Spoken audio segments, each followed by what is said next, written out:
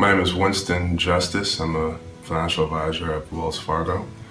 And um, the question is, what did I learn from my plan days that I use in the business world today? And uh, the biggest thing is a quote from Pete Carroll. Um, there, are, there are no mistakes, only opportunities get better.